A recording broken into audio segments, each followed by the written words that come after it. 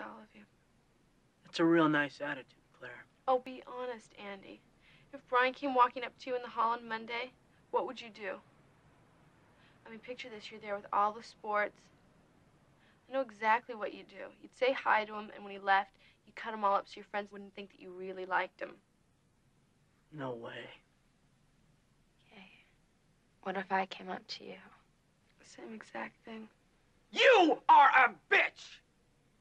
Why? Because I'm telling the truth? That makes me a bitch? No, because you know how shitty that is to do to someone. And you don't got the balls to stand up to your friends and tell them that you're gonna like who you wanna like. Okay, what about you, you hypocrite?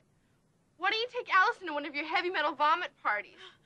Or take Brian out to the parking lot at lunch and get high? Or what about Andy, for that matter? What about me?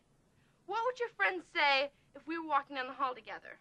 They'd laugh their asses off, and you'd probably tell them that you were doing it with me so they'd forgive you for being seen with me. Don't you ever talk about my friends. You don't know any of my friends, you don't look at any of my friends, and you certainly wouldn't condescend to speak to any of my friends. So you just strip to the things that you know. Shopping, nail polish, your father's BMW, and your poor, rich, drunk mother in the Caribbean. Shut up! And as far as being concerned about what's gonna happen when you and I walk down the hallways of school, you can forget it, because it's never gonna happen.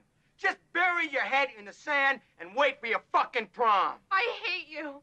Yeah? Good.